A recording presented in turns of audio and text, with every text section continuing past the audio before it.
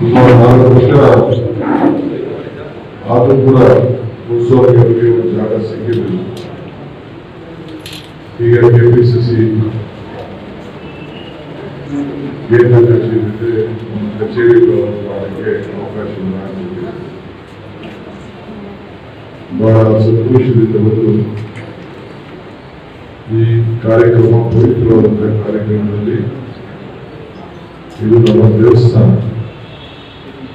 ಇದು ನಮ್ಮ ದೇವಾಲಯ ಏನೇ ಜನರ ಸಮಸ್ಯೆ, ಕಷ್ಟ, ಸುಖ, ಎಲ್ಲ ಕೂಡ ದೇವಸ್ಥಾನದಲ್ಲಿ ಯಾವ ರೀತಿ ನಾವು ಹೋಗಿ ಬೇಡ್ಕೊಳ್ತೀವೋ ಹಂಗೆ ಕಾರ್ಯಕರ್ತರ ಸಮಸ್ಯೆ, ಈ ರಾಜ್ಯದ ಜನತೆ ಸಮಸ್ಯೆ, ಜಿಲ್ಲೆ ಜನತೆಯ ಸಮಸ್ಯೆ, ಎಲ್ಲ ಕೂಡ ಕೂತ್ಕೊಂಡು ಚರ್ಚೆ ಮಾಡುವಂತಹ ಒಂದು ಪವಿತ್ರವಾದಂತಹ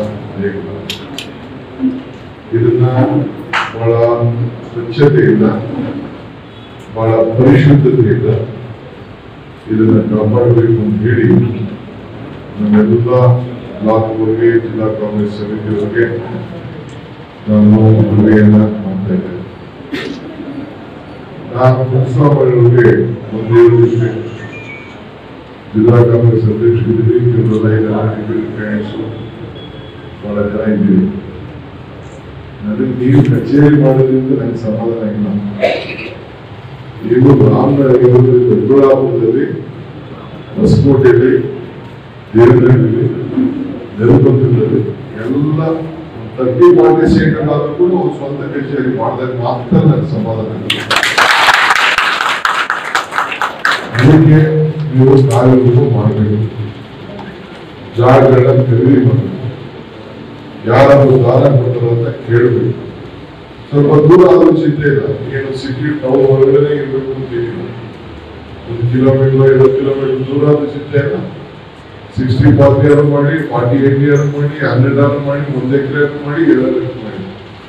ಫಸ್ಟ್ ನಿಮ್ಮ ಟಾರ್ಗೆಟ್ ಆ ಕೆಲಸ ಮಾಡಬೇಕು ಇದು ನನ್ನ ಮನವಿ.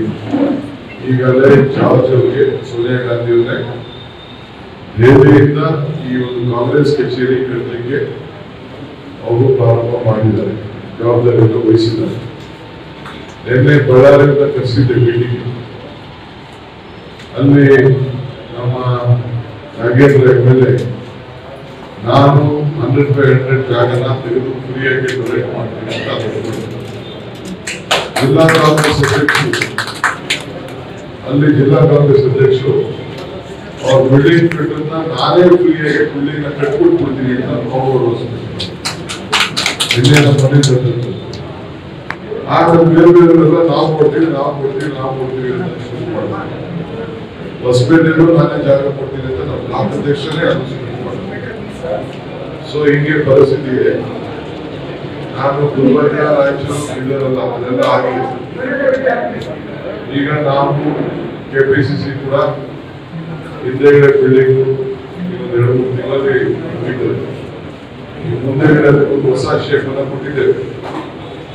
ವಿಶ್ವರಾಜ ಕಾಲದಲ್ಲಿ ಸ್ವಲ್ಪ ಹಂತಕ್ಕೆ ಕಟ್ಟಿದ್ದು ಈಗ ರಾಮಲಿಂಗಾರೆಡ್ಡಿ ಅವರಿಗೆ ಬೆಂಗಳೂರು ಸಿಟಿ ಎಲ್ಲ ಕಚೇರಿ ಜವಾಬ್ದಾರಿ ನಾವು ತೆಗೆದುಕೊಂಡಿದ್ದಾರೆ ಜಾರ್ಜ್ ಅವರಿಗೆ ಹೊರಗಡೆ ಜವಾಬ್ದಾರಿಯನ್ನು ಕೊಟ್ಟಿದ್ದೇವೆ ಸೊ ಇದಕ್ಕೆ ನೀವೆಲ್ಲ ಬ್ಲಾಕ್ ಹೆಸರು ಡಿಫ್ರೆಂಟ್ ಕ್ಯಾಂಡಿಡೇಟ್ಸ್ ಎಲ್ಲ ಕೇಳಿ, ಇದಕ್ಕೆ ಪ್ರಯಾರಿಟಿ ಕೊಡಬೇಕು. ಎರಡನೇದು ಎಲ್ ಸಿ ಸಿ ಡೈರೆಕ್ಷನ್ಸ್ ಬಂದಿದೆ. ಕೋವಿಡ್ ವಿಚಾರದಲ್ಲಿ ಯಾರು ಬಂದಿದ್ದಾರೆ. ಏ ಸುಮ್ಮನೆ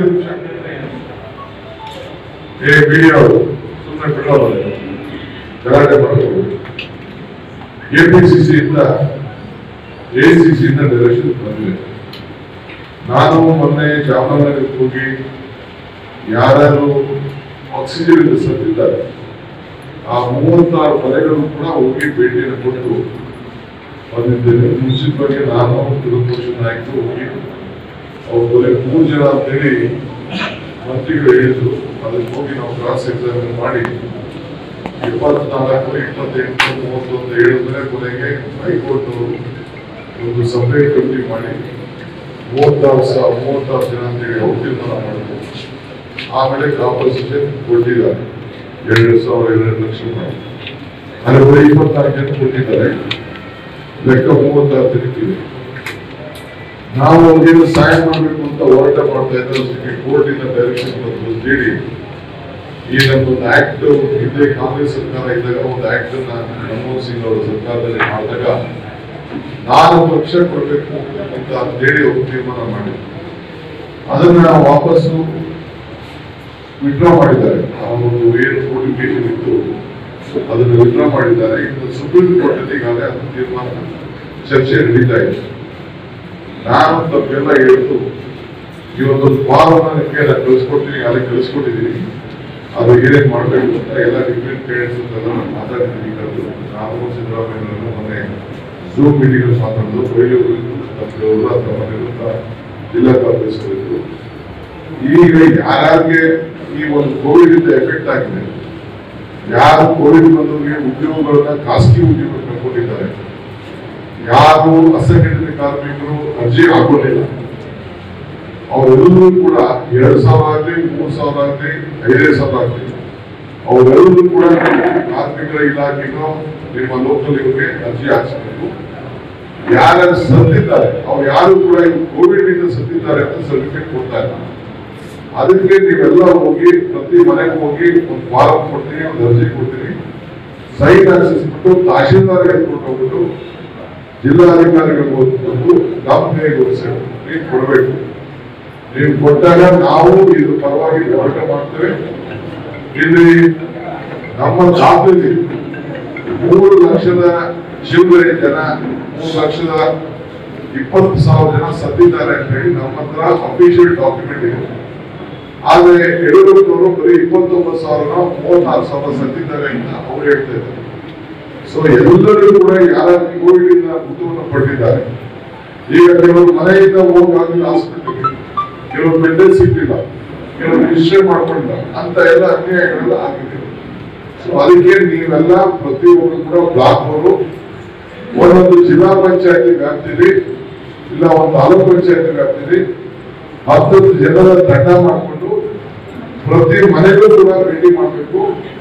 ನಾನು ಪ್ರತಿಯೊಂದು ಅಸೆಂಬ್ಲಿ ಸೆಗ್ಮೆಂಟ್ಗೂ ಒಬ್ಬೊಬ್ಬ ಅಬ್ಸರ್ವರ್ ಆಗಿ ನಾನು ಹಾಕ್ತೀನಿ ಅವ್ರ ಅಧ್ಯಕ್ಷತೆಯಲ್ಲಿ ಫಸ್ಟ್ ಮೀಟಿಂಗ್ ಹಾಕಬೇಕು ಆಮೇಲೆ ಆ ಫಾರಂ ನ ಹೋಗಿ ನಮ್ಮ ಮನೆಗೂ ಫಿಲ್ಅಪ್ ಮಾಡಿ ಎತ್ಕೊಂಡು ಡಾಕ್ಟರ್ ಕೊಡಬೇಕು.